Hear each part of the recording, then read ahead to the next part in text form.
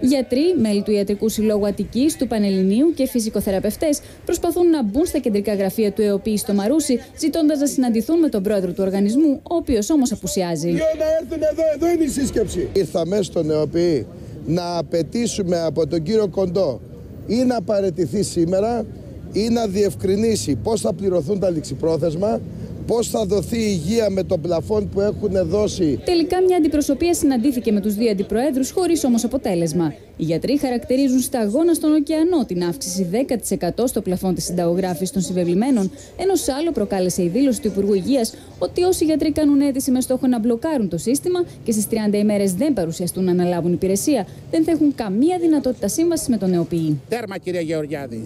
Τέρμα, κύριε Γεωργιάδη, απειλές στους γιατρούς.